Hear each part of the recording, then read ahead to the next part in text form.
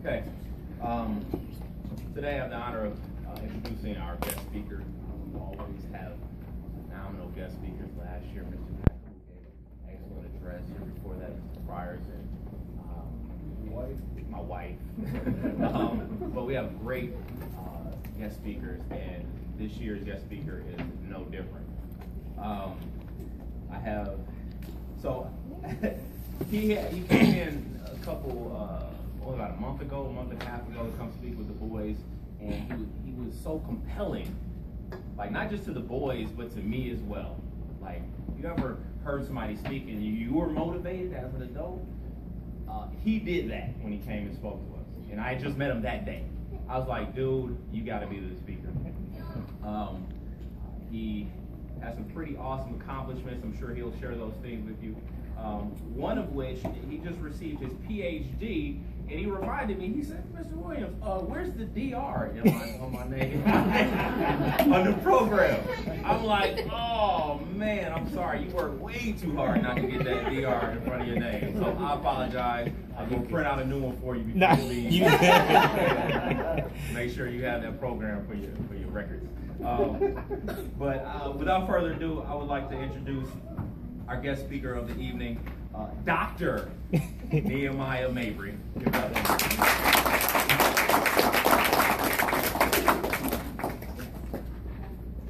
Thank you, Mr. Williams. Yeah, no problem. You don't have to print it out.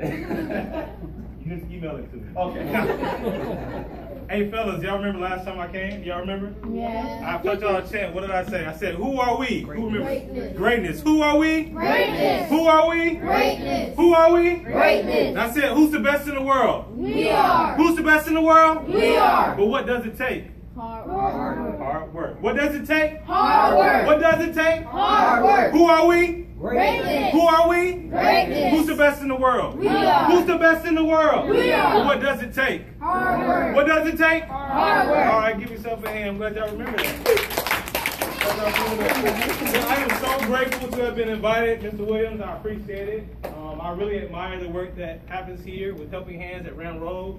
Uh, work with Mr. Carr, Mr. Watson, um, and then also want to acknowledge the principal as well, Ms. Jones, who, who, whom I met at NC State. She was touring the library there, and I was doing some work with another colleague, and so that kind of where the connection began, right there. Um, also want to acknowledge the teachers in the room, the parents, a particular teacher. My fiance is with me, who is also an educator.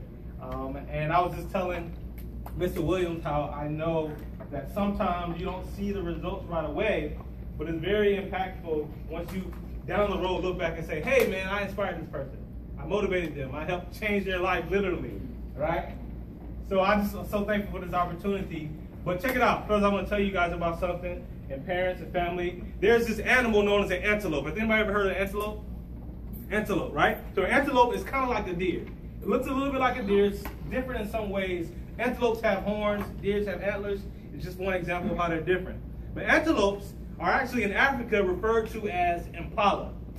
Y'all heard the word impala when it comes to the car, right? Chevy Impala right? So there's a car called Impala, but I'm talking about the animal, okay?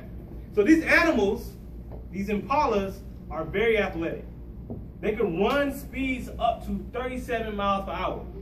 That's pretty fast. Usain Bolt, y'all know Usain Bolt, the fastest man in the world?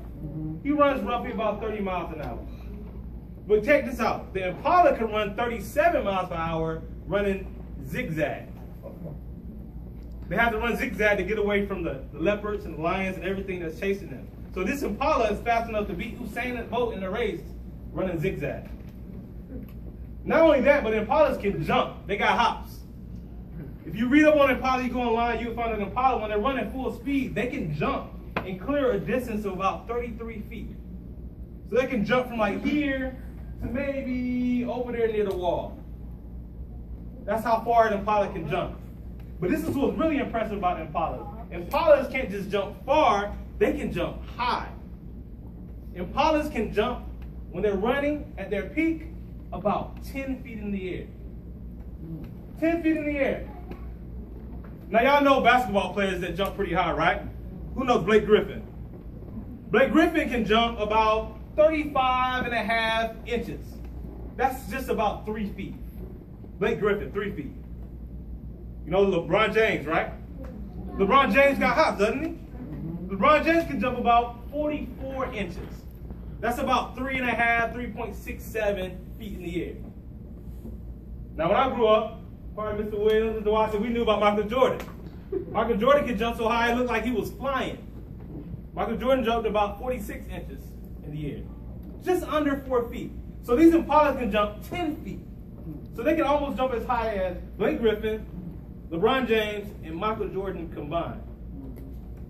But there's something really weird about that. Why don't you guys ask me, what's weird though?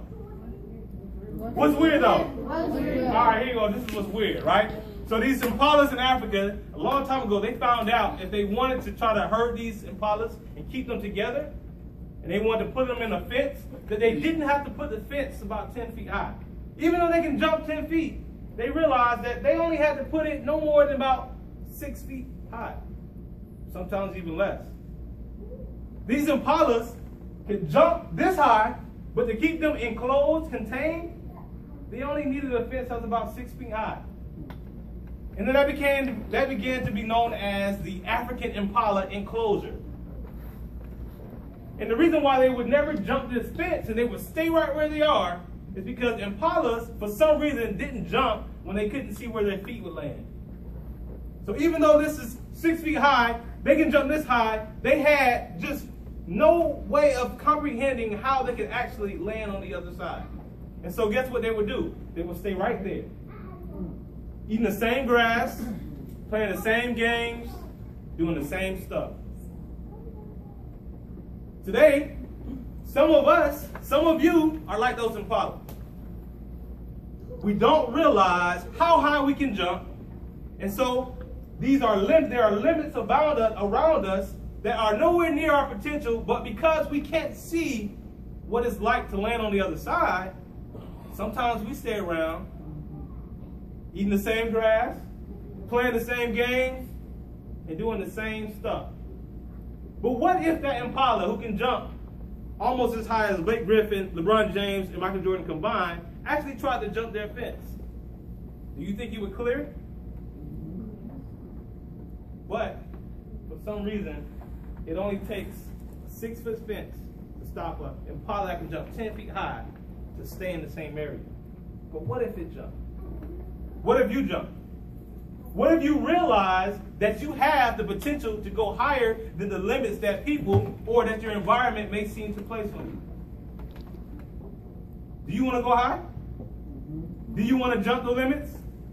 So I'm going to tell you guys three things really quick to help you jump this fence that is serving as a limit to you. Three things. You ready? Number one is you got to prepare. What did I say? Prepare. Prepare. All right. So these basketball players that I talked about, none of them just wake up in the morning, go to the game, and just start dunking on people right away. What do you see them doing before the game? They start stretching, right? And what you see on TV is only like a small percentage of what they actually do on the t- on the game on the uh, floor. They're in the gym, putting up free throws, right? They're running drills, working on their what? Their handles. They're working on their handles. They're preparing. So if you're going to one day get older, move to middle school, move to high school, move to college, and jump these limits, you're going to have to prepare. How do you prepare? Well, there are going to be some books that you have to read. There are going to be some classes. What did I say? Classes that you're going to have to go to. There are going to be some mentors that you have to link up with and understand from. Because you need to prepare because there's going to be a time where you are going to try to jump these limits and hop this fence. But first, you have to prepare. Number two. Number two is don't let fear affect your faith. What did I say? Don't let fear affect your faith. All right, so I'm talking about fear. All right, remember I said impalas won't jump the fence because they don't see how where their feet will land. So sometimes you are not going to be or going to be afraid to jump the fence because you can't quite describe what it's like on the other side. That's called fear. Sometimes fear will come from your haters. Sometimes fear may even come from like your family and your close friends. Sometimes fear might be inside your own head. But you can't let fear affect your what? Faith. You have to know that it's possible. You have to know that what you envision is actually something that you can achieve. And so when you have this faith that's bigger than your fear, you come to find out that this fear that said you couldn't do it was like Michael Jordan said, just an illusion. These limits sometimes are just lies. That fence that's around you is actually much lower than you can achieve. I'll give you an example. I always wanted to start my business. I always wanted to start a business. I said I want to own my own business. And so one day I said, man, I'm going to start making videos. I'm going to start recording people. And then I did it, and people start asking me, hey, can you do this for this? We'll pay you to do this, that, and the other. And I'm like, okay, I'll do it. Think I'm just doing them a little favor. But then eventually somebody starts saying, hey, you know, I like your business. I'm like, I don't have a business yet. I don't even know how to start a business. I don't, I don't know what to do. I mean, I know how to do something that people want to pay for, but I don't know how to start a business. So I started doing research, right? In my mind, people who start a business need a whole lot of money. They need to know a whole lot of people. They just need to be somebody great. But eventually I found a mentor that told me how to start my business. Said, look, you're gonna fill out this sheet, you're gonna go to the Secretary of State downtown, you're gonna turn it in, you're gonna pay $25, and then you'll be an official business. And I said, what? That's it? Yeah, take this sheet, fill it out, go downtown, turn it into Secretary of State, and then you have a business. So I did it. My heart was beating fast. I'm like, okay, I don't, I don't know. I feel like there's something else to do. I went in, put in the form. She, she looked at it. She said, it's all right. She said, you, how you going to pay? I said, here's $25 cash. I gave it to her, and she stamped it and said, all right, good job. And I said, wait. So like I got my own business now? you mean to tell me like that's that's how high the fence was? What you will find out is these things that people say you can't do is sometimes because they feel like they can't do it. Sometimes people will tell you, look, you can't go on the other side of that fence because they've never been on the other side of the fence. And so they want you to think that, hey, we have to stay inside this fence, eat the same grass, play the same games, do the same stuff. But, brothers, if you do not let fear affect your faith, you will find that on the other side of that fence are things that you could have had all along.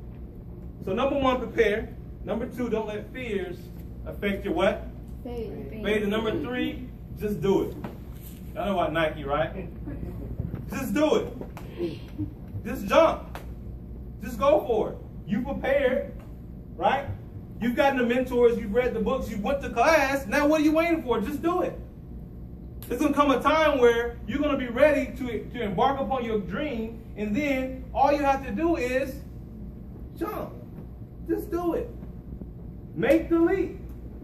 Why not? You can jump 10 feet high, but, but the fence is only six feet, so just jump. I want you to know that if you get in your mind today that you have the potential to exceed far beyond those limits, you will achieve things that you were at one that you at one point never thought was possible. I never thought I would have a PhD. Never. I thought PhD were people with long white beards. I thought those were people who are doctors.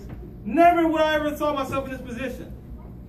But, my brothers, you can do it if you realize that if you prepare, that these fears are just a lie, and then you just make the leap.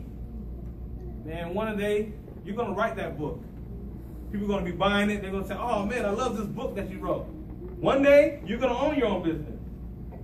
One day, you're going to get that degree. One day, you're going to achieve things that you never thought was possible. Why? Because you made the leap. So that's my that's my that's my message to you today. Very simple. You can remember the three points, but most importantly, I just want to tell you all, look, just make the leap. As you prepare, as you go through school, as you think about what you want to achieve, don't let the limits that your environment, that that, that society at times, or, or anyone else try to put on you, get you to think that you can't excel beyond it. I want to tell you today that you can make the leap. And on the other side of that fence is the life you've always dreamed of. Before I go, I want to quote a poem from Marianne Williamson. This is from a book she wrote, Return to Love. And she talks about our greatest fear. Because that's what it's about, right? Fear sometimes paralyzes. That's why these impalas don't jump the fence, because they don't know where their feet going to land. But she says this, the poem goes like this. It says, Our greatest fear, our deepest fear is not that we are inadequate. Our deepest fear is that we are powerful beyond measure. It is our light, not our darkness, that most frightens us. We ask ourselves, who am I to be to be talented, to be brilliant, to be fabulous? Well, who are you not to be? You are a child of God. Your playing small does not serve the world. There's nothing enlightened about shrinking so that people don't feel insecure around you. You were made to manifest the glory of God that is within you, and it's not just in some of us, it is in everyone.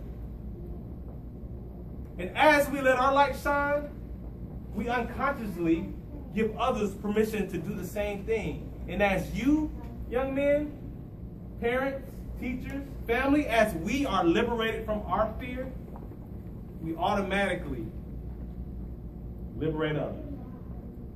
Thank you so much. That's my time.